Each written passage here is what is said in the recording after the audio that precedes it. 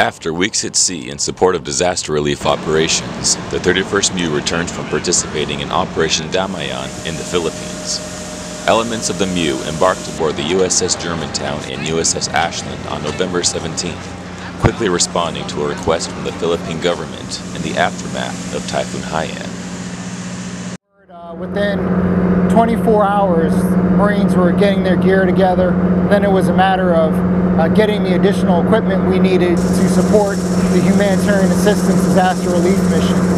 Marines were ready to go within 48 hours. Upon arrival, MV-22 Osprey air crews with the 31st MEU's aviation combat element delivered more than 79,000 pounds of food to islands inaccessible to ground transportation. The rest of the MEU remained at sea, prepared to meet any further requests for assistance.